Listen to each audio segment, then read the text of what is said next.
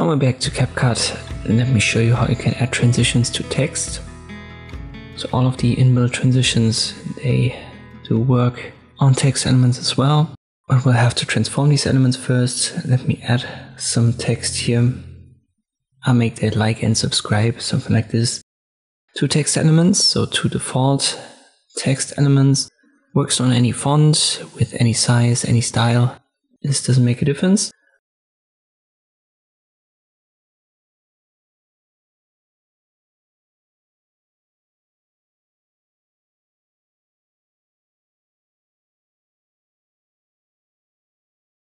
But when you just go to transitions now and you want to add one, let me pick one of the trending ones here, maybe a glitch transition.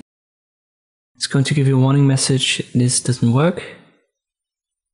So it can't detect video elements, therefore can't add a transition. You first have to right click on these elements and turn them into compound clips.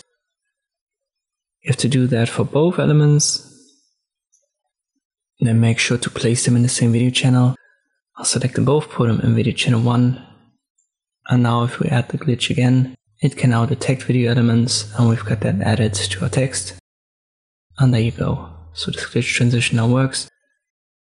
If you want to readjust your text, you have to undo the compound clip. You can do that once again via right clicking.